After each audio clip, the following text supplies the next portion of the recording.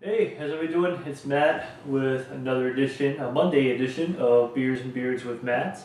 A rare Monday edition, well, a rare edition of Beers and Beards in general. Uh, today I'm doing a beer that is extremely hard to come by down here in Florida, mainly because it's a brewery that only distributes to one state and practically one city. And a you may know uh, this brewery. It's pretty renowned. And it's always rated as one of those top breweries in the entire country, if not the entire world. And I am going to be drinking a Three Floyds beer, my very first, uh, well, not my first. I've had a few others uh, this weekend.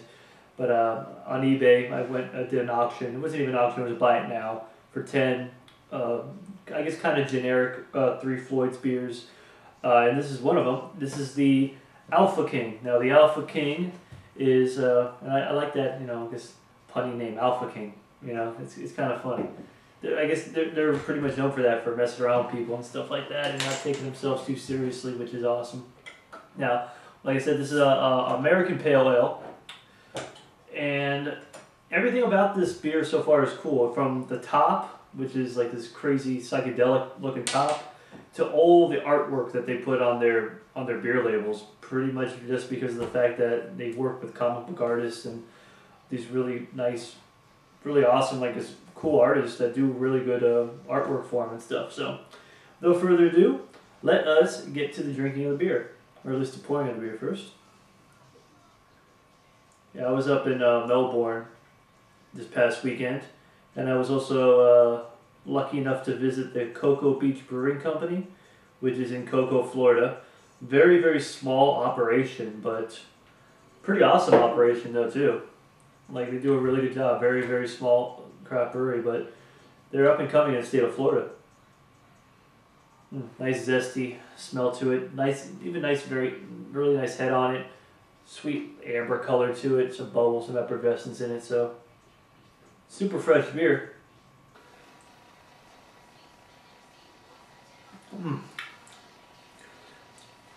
Really refreshing, but bitterness it kicks you, kicks you like right in the mouth on the very very back end.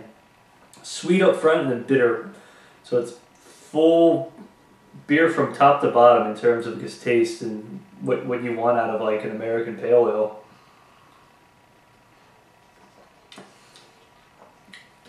A little chewy, but not too chewy, not too thick. I mean, I can tell right from the, right from here that there's some really kick-ass lacing on this. So this is a super fresh beer, super hoppy beer.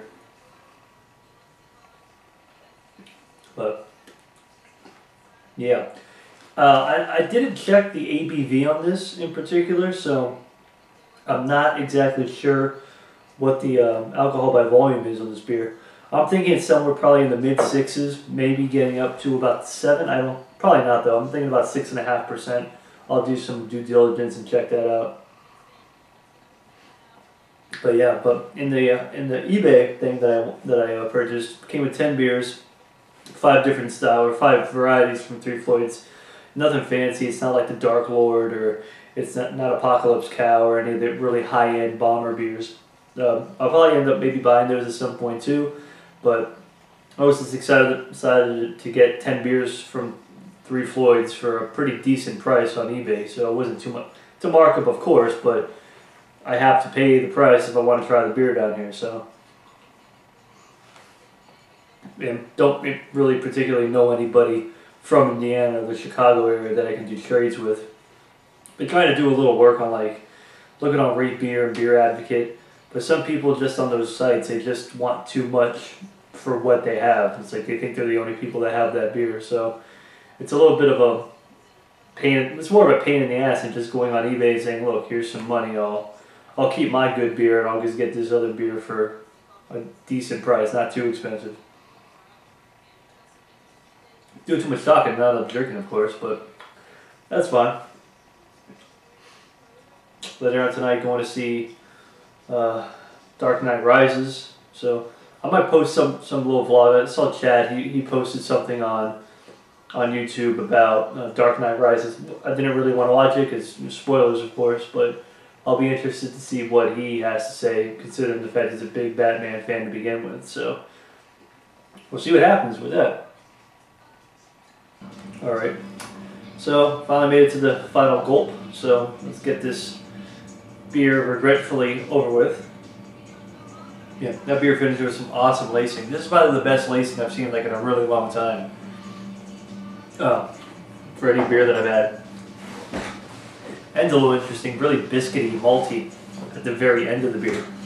But wow, overall, I mean, I was really happy that I finally am getting to try some Three Floyds beers. It's one of those breweries that I still haven't didn't have a chance to get a hold of any of the beer. And I probably could have had it a lot sooner if I checked on eBay and checked prices and ordered it, but wasn't really, you know, in dire need of it. So, but pretty good. And uh, I did double check, 6.5% on the uh, on the ABV. So I was pretty spot on by just kind of guessing what it was. But um, I think an awesome uh, APA, uh, nice kind of a more of a it's kind of a combination of an east and west coast like APA. It's got the citrus and it's got the tropicalness to it. So it's got uh, or even the pininess to it. So it's good conglomeration of hops, and the usage of it is really well. I think well done. But obviously, got to give this beer a thumbs up.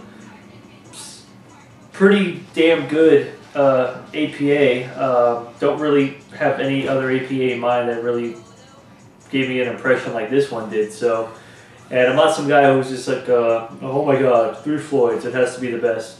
If it was crap, I would tell you it's crap. You know, um, I don't really beat around the bush too much, if you know what I mean.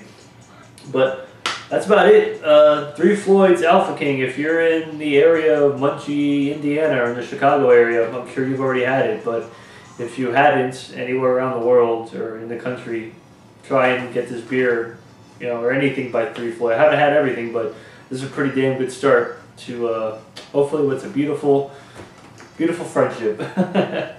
so that's about it. Thanks for tuning in. Subscribe, comment. Uh, let me know if I'm full of shit or not. And I will see everybody later with probably a review of The Dark Knight Rises. So, everybody, take it easy.